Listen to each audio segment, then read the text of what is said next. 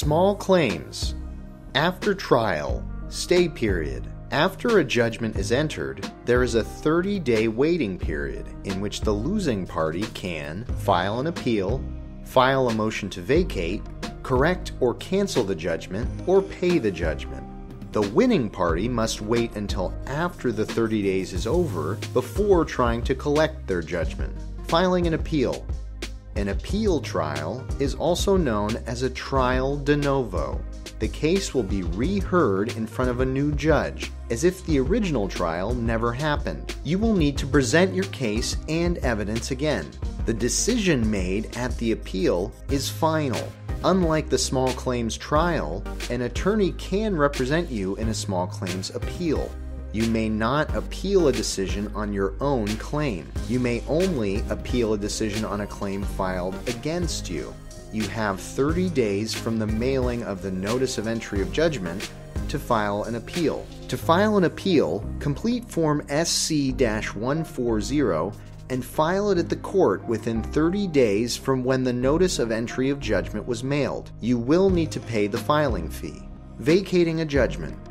If you did not attend the small claims hearing and a default judgment was entered against you, you can ask the court to vacate the judgment. If you were properly served with Form SC 100 and did not attend the trial, you have 30 days to file a motion to vacate from the date of the judgment.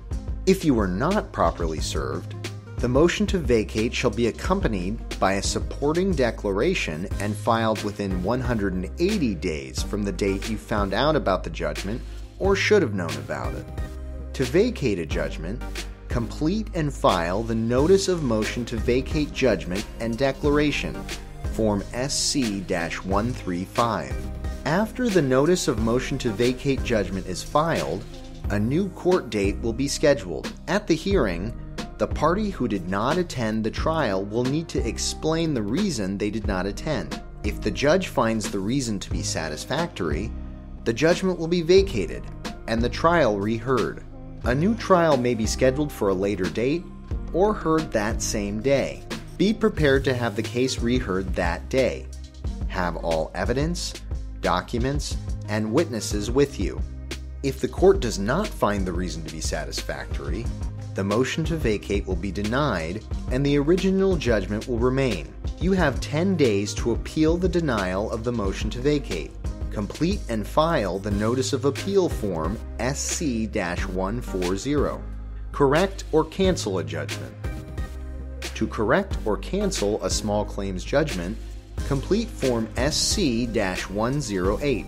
File this form if a clerical error was made or if the court applied the wrong law. File it within 30 days from when the clerk mailed the notice of entry of judgment. The clerk will mail the form to all other parties in the case. The other parties will have 10 days to file a response. The court will mail its decision or tell you to go to a court hearing. For more information, contact the Orange County Small Claims Advisory. If you are ready to collect your small claims case, go to the next section to learn more.